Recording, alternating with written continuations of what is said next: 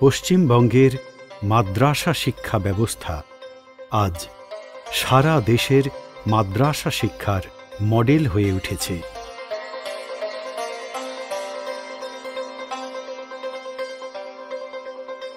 দেশের অনেকগুলি শিক্ষা বোর্ডও আজ এই রাজ্যের মাদ্রাসা শিক্ষায় প্রযুক্তি ব্যবহারের মডেল নিয়ে আগ্রহ প্রকাশ করেছে। বারবার নিজেদের প্রতিনিধি পাঠিয়ে বিস্তারিত তথ্য সংগ্রহ করেছে, বিশেষ করে পশ্চিমবঙ্গের মাদ্রাসার ধর্মনিরপেক্ষ চরিত্র অনেককেই আকৃষ্ট করেছে।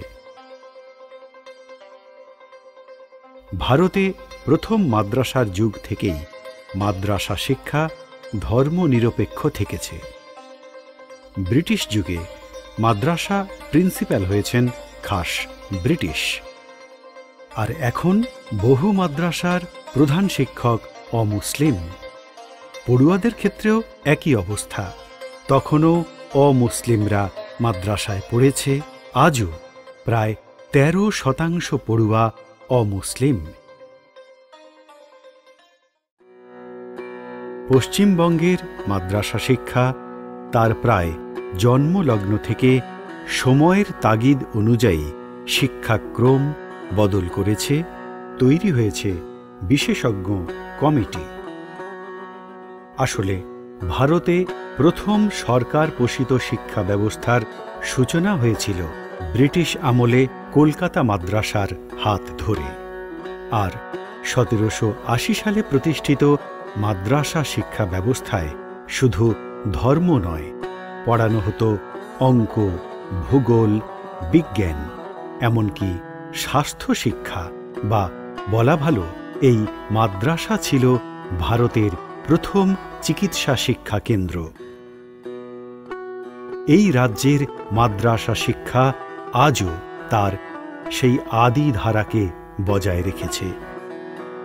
তাই ধর্ম শিক্ষার বাধ্যবাধকতা নেই, কিন্তু ভূগোল, বিজ্ঞান, কম্পিউটার শিক্ষা আজ বাধ্যতামূলক।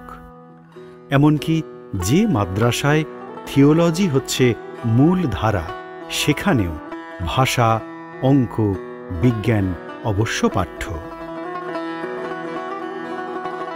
শুধু তাই বা বলি কেন?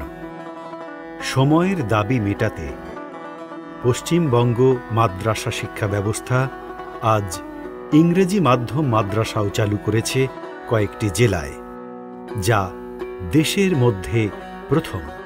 Hello I am Salma Akhtar Mondal from class seven and we are the cabinet members and I am the chief minister of this cabinet member under the guidance of our headmasters and all the teachers we work and we give our best and make proud of our school আমরা একদম আর্থিকভাবে পিছিয়ে পড়া একটা পরিবার থেকে আসা এবং আমার খুব ইচ্ছা ছিল যে মেয়েকে ইংরেজি মাধ্যমে শিক্ষিত করে তুলব।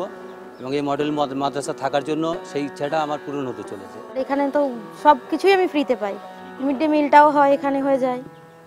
স্কুল ড্রেস বই সব কিছুই পে- পাওয়া হয়েছে। আমার যে স্বপ্ন ছিল যে আমি ছেলেকে ইংলিশ মিডিয়ামে পড়াবো সেই স্বপ্নটাও পূরণ হয়েছে। অন্যান্য স্কুল যেগুলি আছে আশেপাশে ব্যয়বহুল খরচা অনেক সেই জন্য পড়ার কোনো সুযোগ ছিল না। এই মাদ্রাসাটা এখানে হওয়ায় আমার দুটো মেয়ে এখানেই পড়ছে।